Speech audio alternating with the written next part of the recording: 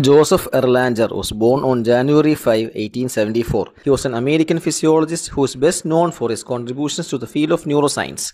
Together with Herbert Spencer Gasser, he identified several varieties of nerve fiber and established the relationship between action potential velocity and fiber diameter. They were awarded the Nobel Prize in Physiology or Medicine in 1944 for these achievements. He died on December 5, 1965 at the age of 91 in St. Louis, Missouri, United States of America.